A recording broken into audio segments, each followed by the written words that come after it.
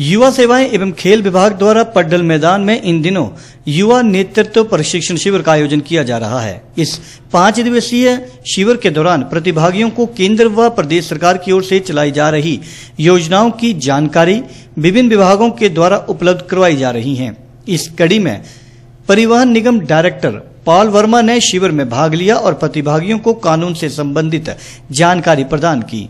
Paul Verma ने बताया कि आज के दौर में हर व्यक्ति को कानून की जानकारी होनी चाहिए। उन्होंने बताया कि कानून देश के हर नागरिक के लिए बनाया गया है और हम सबको सकारात्मक सोच के साथ लाभ उठाना चाहिए। पाल वर्मा ने जहाँ प्रतिभागियों को कानून से संबंधित जानकारियाँ उपलब्ध करवाई, वहीं प्रतिभागियों ने भी इस सत्र में काफ़ी रुचि दिखाई।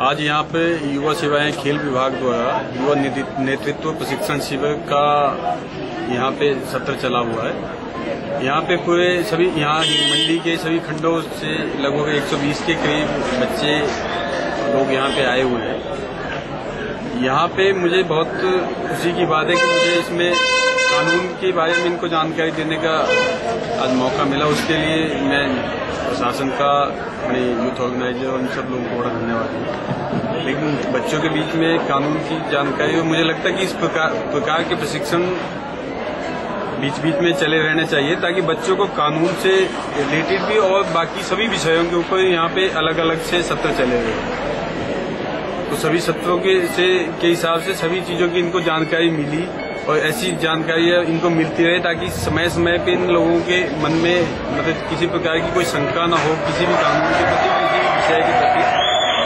तो इसलिए इस प्रकार के शिविरों को होना ज़रूरी है और मैं तो समझता हूँ कि इस प्रकार के शिविर हमारे निचले लेवल तक जाए ताकि आम जनता को भी इससे लाभ हो और बच्चों को भी नई नई जानकारी मिलती रहे।